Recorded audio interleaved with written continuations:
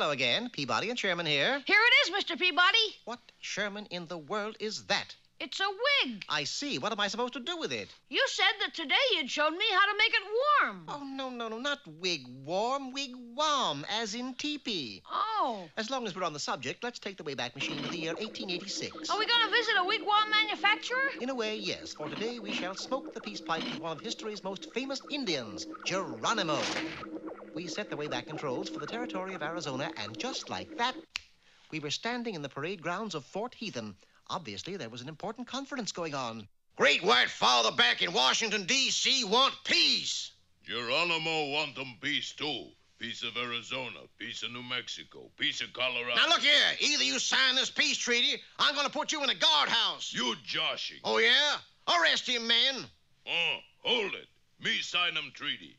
But first we smoke smoke 'em peace pipe. We watched in fascination as Geronimo lit the long pipe and sent puffs of thick smoke into the air. Boy, he sure can puff. Indeed, he could. Inside of 40 seconds, the parade ground looked more like Los Angeles.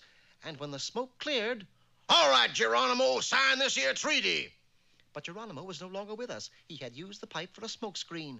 Call out the men. Get that engine and shoot him, dead or alive. But jeepers, Mr. General. Jeepers.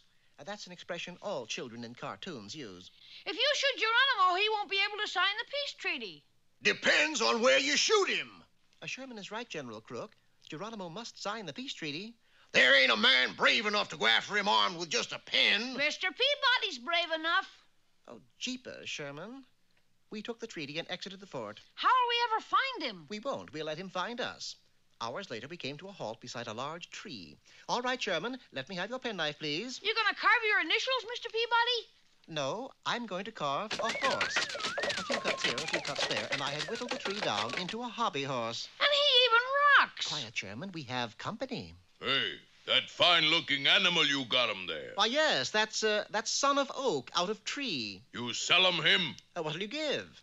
Autograph picture of Tonto and two tickets to Knott's Berry Farm. Wow. Ah, that's not enough, I'm afraid. I'll tell you what. You sign this peace treaty, and Son of Oak is yours. Honest Injun. I certainly hope so. Geronimo took out a pen and was about to affix his signature to the document when. Yippee! Ride 'em, cowboy! Hmm, what gives with horse? Him no run, him rock. Well, it's a it's a new type of gallop. Ah, you keep 'em. Me no want 'em. And with that, Geronimo disappeared. Well, Sherman, having fun? You bet. Good. When you're through, we'll resume chasing Geronimo. You mean he's gone? Doesn't he like this horse? Gee. Don't say it, Sherman. I picked up Son of Oak and we struck off into the wilderness. The next morning, a trifle tired perhaps, we walked into Geronimo's camp.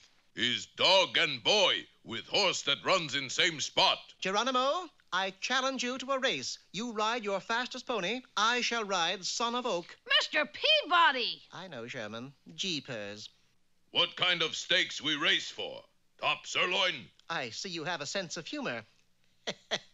the stakes are these. If you win, Sherman and I will be your personal butlers for a period of one year. Crazy. If you lose, you sign this peace treaty. You got 'em deal. But, Mr. Peabody, you can't outrun a live horse. Oh, can't I?